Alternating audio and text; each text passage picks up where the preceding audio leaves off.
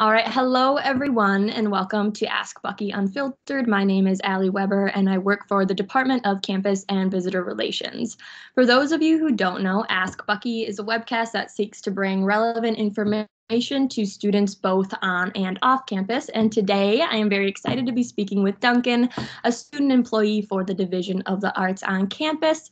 Um, however, before we jump into the questions we have for y'all, uh, why don't Duncan, you just introduce yourself and yeah, just talk a little bit about who you are and maybe why you're working for the division.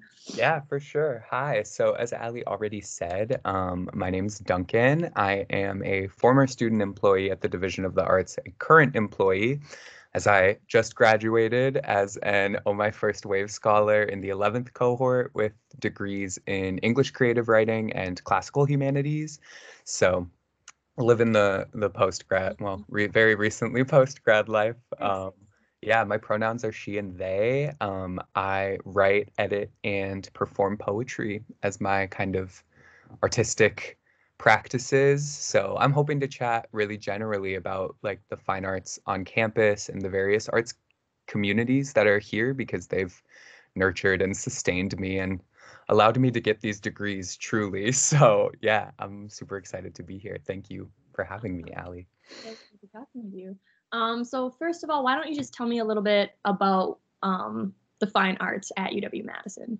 Yeah, definitely. So I was, I know coming to campus and specifically, I, I started working at the Division of the Arts my first semester as a freshman on campus. So I was not really aware of the extent and the range of different kind of arts research happening here, the different arts communities that already exist on campus and have existed for a really long time, as well as the ones that are still being kind of created, which is super exciting. But there's a huge range of subjects from glass glass blowing and neon sculpture to textile design and fiction writing. Um, all of these sorts of yeah fine arts programming and the courses offered through departments encompass really anything you could think of. Um, and if there isn't really representation within the the major departments, um, students are able to create student organizations pretty pretty easily um, and get yeah make that make that practice kind of have its place on campus. So that's a, a bit about the range. Um, I think one program that the Division of the Arts is creates um, is called iArt, which is the Interdisciplinary Artist in Residency. Um, we just changed the acronym, so I don't remember exactly what the T stands for at this moment. That's my bad. Um, but uh, it, it's a, a great example, I think, of how creative arts practitioners, researchers, educators um, who work within interdisciplinary modes, really kind of emerging artistic practices and sort of just the cutting edge parts of artistry are brought to campus through instruction and there's courses offered through the artists in residence um, every semester. And this i think really kind of vitalizes what happens in the more traditional art spaces on campus. There are these like you know very cemented and long-standing syllabi and um, practices that then get coupled with a program like iArt where there are artists who are blending and merging and truly creating something that doesn't exist anywhere else um, and developing that with students in conversation here. So that's a bit about, um, yeah, the kind of two different realms of art that I see happening on this campus and which I think is incredibly exciting. No, that's great. And I think, I mean, to a lot of people, the UW, when they think like UW Madison, they think of like a STEM school, right? Because we do have right. like great programs. But it's also, I think we need to get the word out there that there's like, no, there's great art programs here mm-hmm. at UW as well. And I think y'all are doing a great job of, you know, getting that message out there through these types of programs. Thanks. Yeah. Um, so I know you talked a little bit about types of subjects students can study. So, what specific subjects can students major in here at UW? Yeah, definitely. So, students can study and receive majors or receive degrees in art, art history, arts administration, communication arts, which encompasses film, radio, and television, um, English creative writing, dance, interior architecture, interdisciplinary theater studies, landscape architecture, music, textiles and fashion design, as well as theater and drama. So I think that's around 13. Mm-hmm. Um, so there's a lot, and that is all of the sort of curricular kind of artistic offerings here and ways to get those degrees. But then there are all of these co-curricular and extracurricular opportunities um, because so much arts programming um, and a lot of arts courses within the departments can be taken without prerequisites and a major declaration. There are these entry level classes that are open to anyone in all these departments. So for students who are artists or want to develop an artistic practice or just want to have that sort of variety within their perhaps STEM course load, um, those opportunities exist too. And I, do, I don't think enough students know that um, you don't have to be an art major to, in, and I say art major to uh, apply to anyone, not just visual arts, um, but all of those majors that I just listed. Um, you don't have to be bound to that school or, you know, give up a biology major to take a dance class. That is possible. You can make that happen on this campus. And it's truly, those are like the really exciting classroom spaces that I've been in as an artist when you have, you know, these really different perspectives and levels of experience. So those are, that's a bit about the co-curricular and extracurricular opportunities and also there's a huge community in Madison both on campus and off campus that offers really free accessible um, and open programming to anyone interested in the arts mm-hmm. so I'm thinking of places like the unions on campus um, the studio which is a space that I could talk about a bit m- more a bit later um, as well as these local theaters and performance venues that UW students can get discounted admissions to, um, as well as the Chazen and then all of the kind of events that pop up through the iArt program, which the division runs. Um, there's also 36 public art galleries around campus, um, which includes those at the Chazen, which has over like 20,000 pieces of art. Um, it's one of the largest university art museums. So that's another uh, open, accessible, free to UW Madison students um, art space on campus. And then, yeah, there are these. I think you'll be challenged to find a building on campus that doesn't have some sort of artistic um, element featuring into the building, and whether that's the interior or the exterior. So it's quite literally everywhere on campus. You just have to pay attention. it really is. I was mm-hmm. going to say maybe not humanities, but I'm like, no, humanities might be the most totally interesting building on campus. That's yeah. for sure. Such a brute, a, such a brutal, quite literally a brutal um, building. Uh, and yeah, then the inside is really beautified. I think with the visual art and then the yeah music folks that used to be there, all that. No, it's awesome. Um, so you did mention that a little bit when you were talking about the majors um, for the arts at UW. So if a student would like to continue practicing art, but not necessarily, I don't know, major in it, or maybe they don't necessarily have time to take credits in, you know, a specific class, where would you suggest they go to get, you know, surrounded and I guess practice art again? For sure. I think there's uh, so many different ways to tap into the arts there. I would say, as a general, maybe like kind of, uh, yeah, I don't know.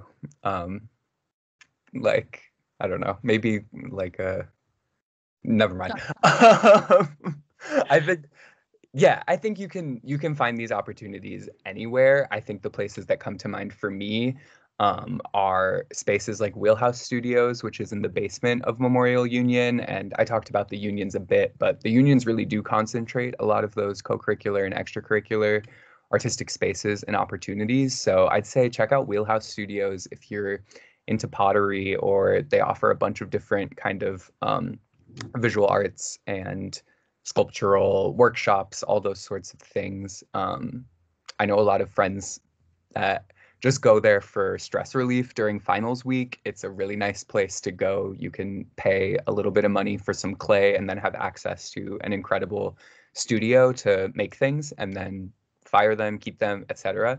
Um, Wheelhouse is a great place that I don't think enough people know about. Um, a lot of the student organizations, I do a lot of work with student organizations specifically through through the division. Um, I have a few favorites. I'd say my like top favorite, but I'm a little bit biased, is the Uprise Poetry Collective because my friends and I sort of started it. So, folks in the yeah scholarship pro uh, cohort above me, um, we founded this space for more kind of radical um, performance poetry and spoken word and slam poetry on campus, um, got plugged into the community in a variety of ways, traveled to international competitions for slam poetry, and swept the categories um, to brag a little bit. But uh, Uprise Poetry Collective is an incredible space. Um, the JVN project, along with that, uh, a hip hop and um, spoken word um, teaching artist organization. They do a lot of incredible stuff on campus. Keep your eyes peeled for signs about JVN Day, which happens um, every year. I also think of the like any acapella group. There are incredible acapella performers on this campus. Um, so that's another like student org kind of fixture that I think about. Also, there's like an incredible group of um, publications. Alt Magazine comes to mind immediately. They're really cool kind of fashion, lifestyle, editorial, fun, like um, mix of things. And I'd say those are those are the places. Definitely check out um, arts.wisc.edu, and there should be some some resource list of um, how to get into the the student org searching database, because then you can can tag that arts and music filter and see all that comes up.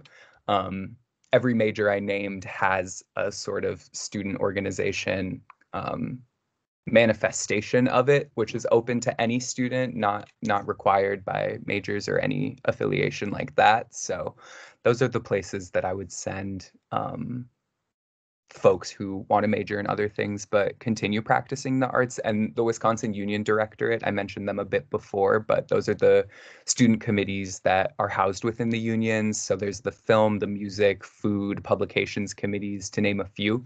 Um, and they do incredible um, programming all over campus all the time. So there's always events free concerts through the um, WUD music. Um, the Marquee, which is a film space, a movie theater in Union South. Um, they program movies to show there for students on campus. Um, and then, yeah, I would say two other points to hit when it comes to uh, students who want to major in something else but continue the arts. Um, or continue practicing the arts are those arts classes for non-majors so if you just uncheck that declared major prerequisite box in your course enrollment search. Um, you'll see how many are offered in a given semester, and then you can sign up for those easy. Um, and also, there are art certificates for all of these majors I listed, and those are mostly 12 to 18 credits. So you can do that in a semester or two. Um, and if you want to take your artistic practice to the, you know, the next half step or whatever, um, you can get that lower uh, departmental kind of um, affiliation. Well, that's awesome. It's funny you brought up WUD because I know, like a couple months ago, we did an Ask Bucky Unfiltered series where we got like all the 11 committees. Oh, WUD, and we did like a yeah, like each day for like 11 days That's leading awesome. up to like org fair. We released it. So if people are loyal followers, um, they should be familiar with WUD. Yeah, you've been put on. That's good. I didn't I see I didn't even know there were 11. I listed like 4. So that's, you know, you're constantly finding out the breadth of arts communities or, you know, kind of yeah, student programming happening. yeah, it's extensive, which Uh-huh. yeah, it's a good. Oh, sorry, were you gonna say something, Duncan? No, no, no. Okay. Um, I was just gonna say that's like a good segue into my next question. So obviously, I mean, we have like about a 15 to 20 minute time slot for this interview. However, I think you could probably talk for days about everything that goes on in the arts at UW. So I guess for you, if you had to list some of the coolest things that you have found in the arts that students might not know but should, what would they be?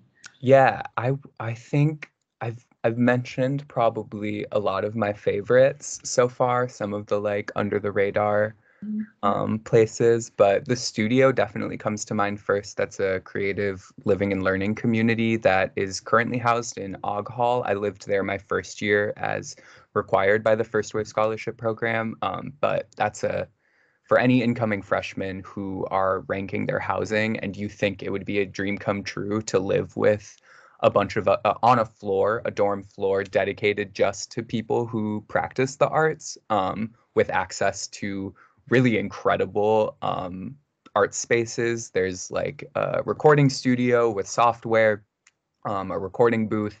There's spaces to practice visual arts with paints and brushes and tables and sinks, etc and a black box theater that you have 24/7 access to. So it's quite literally I've never I've never seen an, a living space like it on campus anywhere else. It was an incredible experience my first year just having access to all these places to practice and make at you know student schedules get kind of crazy so it, it's not unrealistic to see people at three in the morning you know dancing warming up um, at in in the studio, which is just a really incredible creative energy to be living in, quite literally.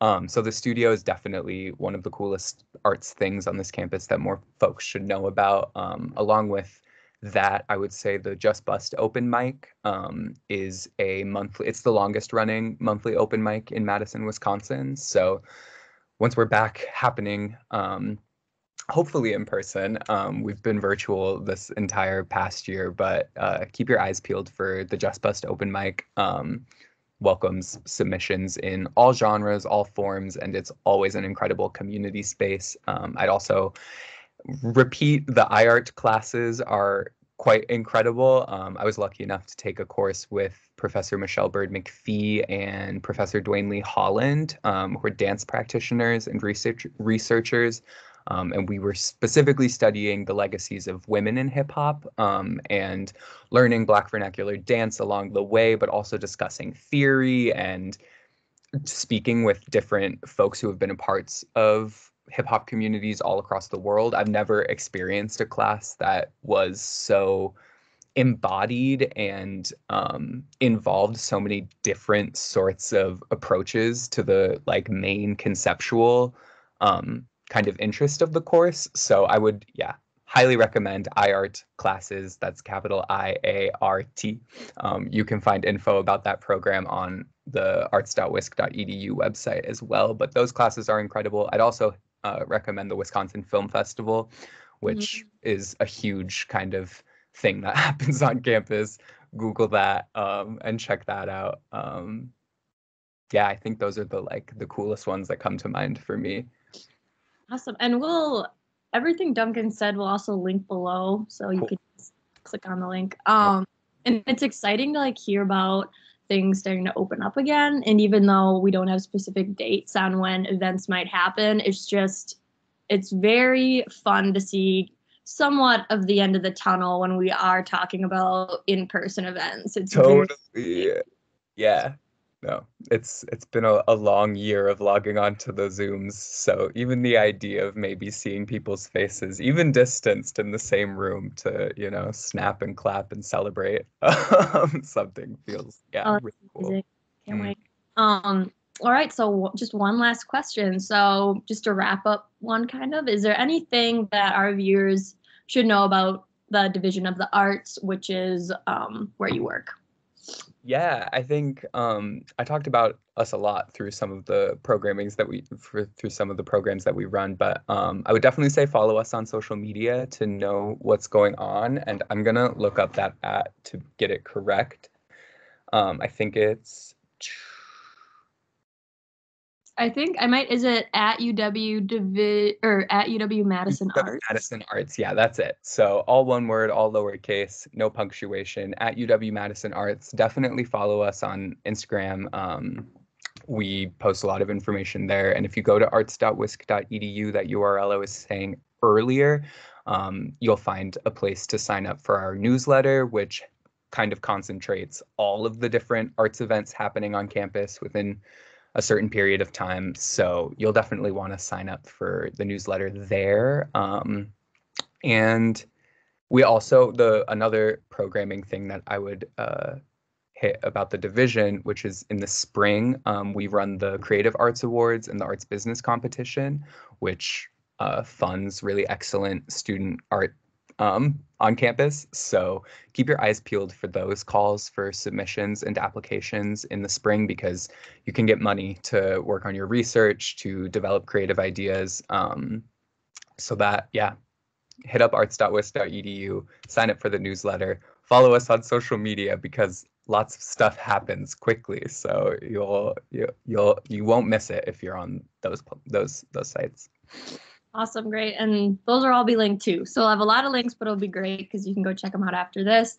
Um, thank you so much, Duncan, for meeting with me today. It was so fun. Um, thank you to the viewers for watching this. Uh, this will be the start of our, I don't know what you call it, summer series, summer season, our summer clump of webcasts. I clump, I love that like the worst one that I could have thought of. um, but yeah, just um, yeah, keep an eye out for more Ask Buckies posted in the future. And if you have any suggestions on what you would like to hear from next, just please DM us. And yeah, have a good day, everyone. Thank you. Yeah.